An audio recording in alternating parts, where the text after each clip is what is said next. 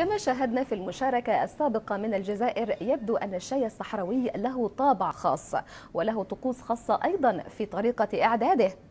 لا يعرفها الجميع ولكن له شعبية كبيرة في المجتمعات الصحراوية. فلا يكاد يخلو مجلس أو تجمع عائلي من كوب الشاي أو الأتاي هذا. وطبعا تحلو النقاشات وليالي السهر في التجمع حول صينية الشاي. إلى هذه المشاركة من جزر الكناري لتتاح لحبيب للشاي طقوس خاصة وأوقات معينة يتم إعداده في المجتمع الصحراوي. ورغم أن الشاي ليس غاية في حد ذاته إلا أنه يستحيل عند الصحراويين أن يعقد مجلس أو يحيى سمر دون إعداد الشاي. وحول هذه الصينية يتم تداول الأخبار ومناقشة أمور الحياة عامة رغم بعدنا عن الأوطان والأهل والأحباب. فلا يكاد يختلف المشهدان نحاول دائما قدر الإمكان أن نعيش نفس الأجواء بالحفاظ على هذا الموروث الثقافي من قيم وعادات وتقاليد.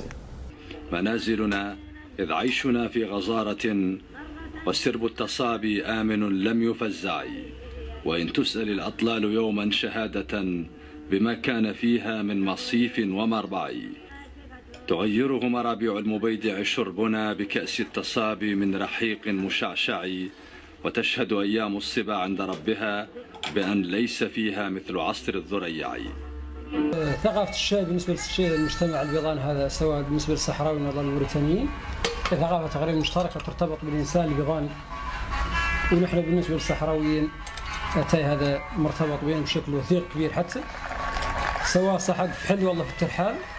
ثقافة مرتبطة بنا والصحراوي بالنسبة لهم أتاي ما هو ما الغرض من ذيك الجماعة اللي على تاي؟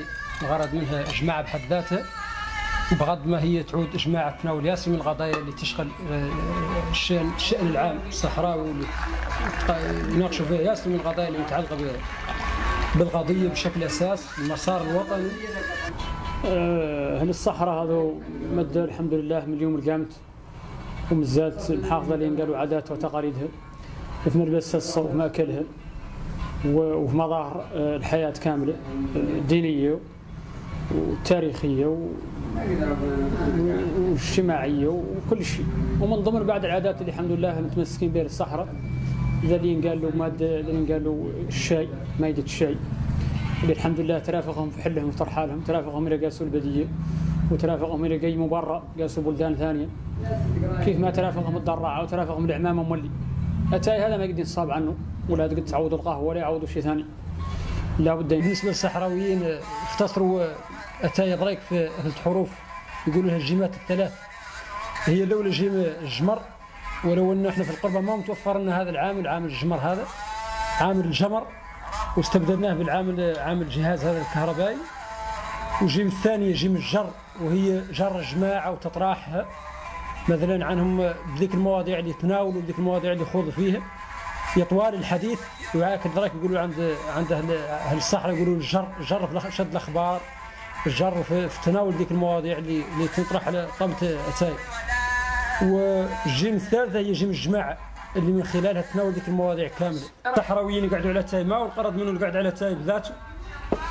بغض ما هو حلقه الصحراء يناقشوا حولها ياسر من المسائل المتعلقة بقضاياهم اليومية بقضية المصير قضية الكفاح والنضال الشعب الصحراوي ومعاناه المخيمات حوله لا نشعر بأننا غادرنا بلدنا.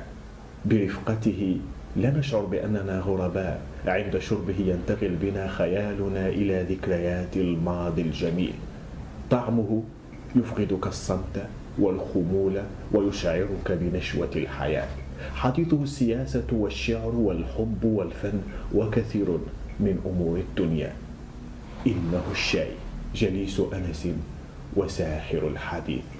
لبرنامج أنا الشاهد كان معكم تتاح الحبيب بريكة من جزر الكناري.